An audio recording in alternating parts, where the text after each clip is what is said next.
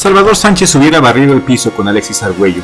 Esta gran pelea Salvador Sánchez contra Alexis Argüello y Salvador Sánchez contra Sugar Ray Leonard, ambas peleas de ensueño mis amigos, y a pesar de lo que lleguen a pensar algunos pseudoaficionados, estas peleas ya se estaban cocinando.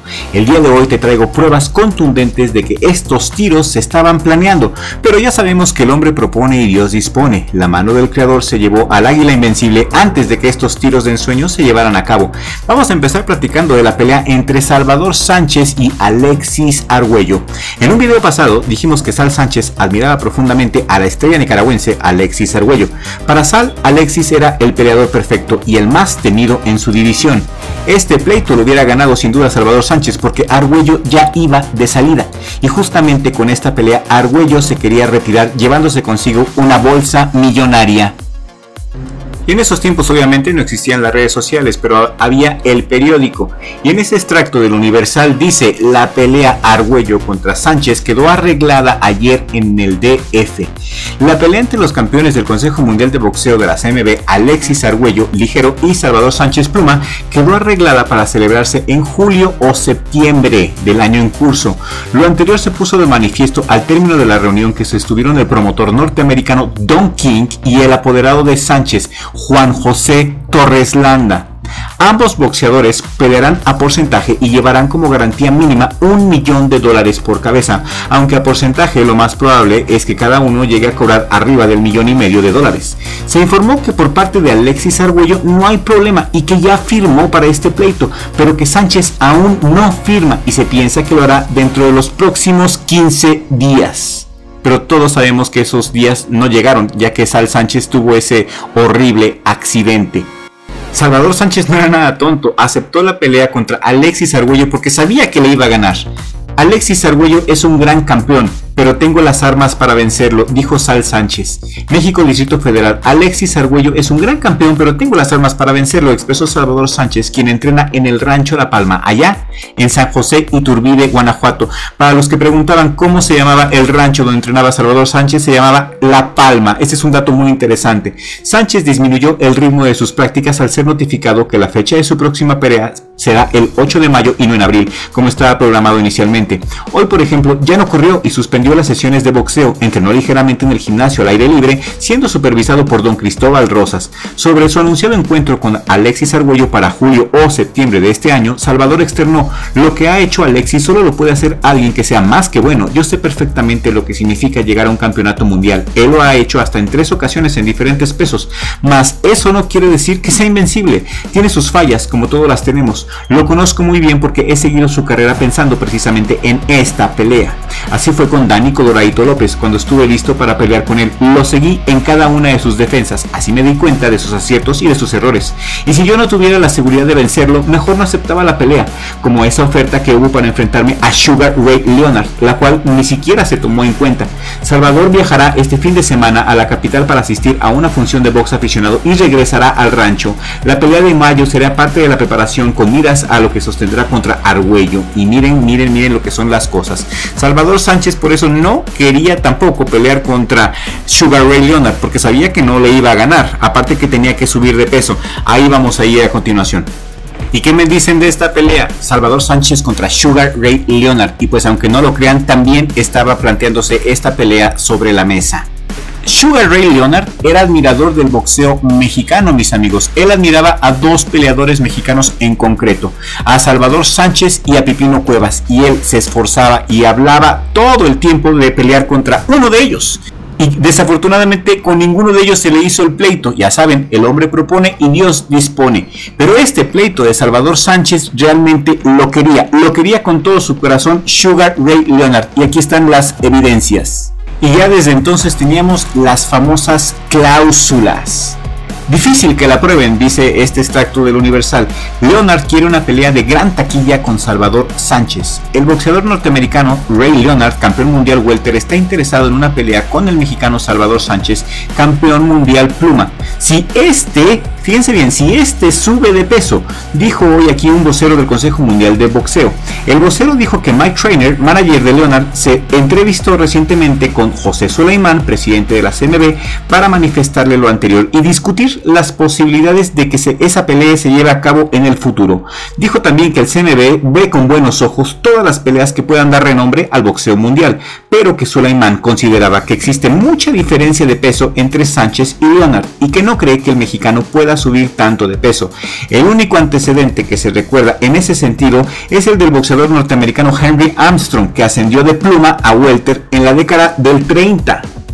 Y como un dato espectacular, el mexicano Joe Conde derrotó a Henry Armstrong. Tenemos un video especial de Joe Conde y en la sección de miembros. Si quieres saber quién fue este genial, este maravilloso boxeador mexicano Joe Conde, que inclusive llegó a pelear ciego, te voy a dejar el video de Joe Conde en la descripción y en el primer comentario y en las pantallas finales para que te deleites con este boxeador. Esos sí eran hombres, carajo. Y como no se pudo concretar la pelea de Salvador Sánchez por obvias razones, Sugar Ray Leonard aún no abandonaba la idea de pelear contra un mexicano, pero no tenía que ser cualquier mexicano, él quería pelear contra un mexicano chingón, de esos cabrones, y quería pelear ni más ni menos contra el Pipino Cuevas, el rompemandíbulas. Pipino Cuevas tenía la fama de romperle la mandíbula a sus rivales, y Sugar Ray Leonard sabía que Pipino Cuevas tenía el poder destructivo en los puños de un peso completo todo se gestionó para que el Pipino Cuevas pudiera pelear contra Sugar Ray Leonard, pero antes tenía que derrotar a Tony Hearns de Hitman.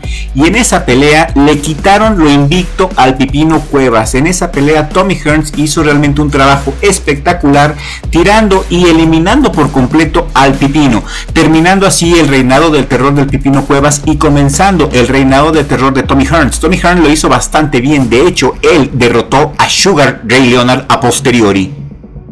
Si estás interesado en que haga un especial de Tommy Hearns o de Sugar Ray Leonard, por favor escríbemelo aquí en la cajita de comentarios. Y también si eres nuevo en el canal, si acabas de llegar, te voy a pedir que te suscribas, que actives la campanita y actives todas las notificaciones para que no te pierdas ninguno de nuestros episodios. Y no, no se le hizo a Sugar Ray Leonard ni pelear contra Salvador Sánchez ni contra Pipino Cuevas.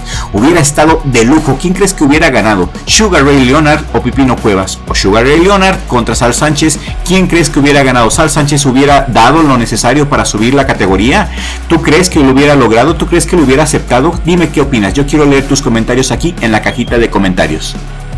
Yo soy un fanático acérrimo de Salvador Sánchez, pero también creo que Salvador Sánchez no hubiera podido contra Sugar Ray Leonard. Es que el maldito estaba en otro nivel, estaba totalmente en otro nivel, era una maravilla. Chécate nada más las peleas contra Manos de Piedra Durán, la manera en cómo se movía. Yo no he visto a ningún boxeador moverse como el gran Sugar Ray Leonard, bailar como Sugar Ray Leonard. Yo no he visto a ningún otro boxeador jamás y creo que no lo va a ver. Salvador Sánchez siempre aceptaba las peleas que él sabía que podía ganar como contra Wilfredo Gómez, contra el Coloradito y muy seguramente también contra Alexis Argüello. Y no lo digo yo, lo decía el mismo Salvador Sánchez que estaba seguro de poderle dar una buena paliza. Mi hermano y yo también nos encontramos con este extracto del Universal donde el Cuyo Hernández dijo que las cifras millonarias en el boxeo no existen y que es pura publicidad. Y el Cuyo Hernández, y no lo digo yo, lo dice en su libro Del infierno a la gloria, el Púas Olivares, que el Cuyo Hernández es la persona más corrupta y más asquerosa que haya existido en el boxeo. Así que esto pues no lo creemos. Y pues todos estos tipos tienen las manos sucias, inclusive también el señor Sulaimán. Me encontré con este extracto del Universal y te lo voy a leer. Dirigente mexicano del deporte mundial preso por venta de joyas arqueológicas. Lo metieron al bote por estar vendiendo joyas arqueológicas. A José Sulaimán, presidente del Consejo Mundial de Boxeo, fue detenido por la División de Investigaciones para la Prevención de la Delincuencia por dedicarse a retener ilegalmente y sacar del país cuantiosos cargamentos de joyas arqueológicas. Manifestó que todos esos objetos según él fueron comprados a gente humilde de diversas partes de la República, sin imaginar que se vería en una situación conflictiva. Solamente es un coleccionista, dijo Sulaimán, solamente soy un coleccionista enamorado del arte. Sí, cómo no. Se aprovechan de los verdaderos artistas, de hecho. Quien sí era un artista era Salvador Sánchez, como boxeador simplemente era un artista.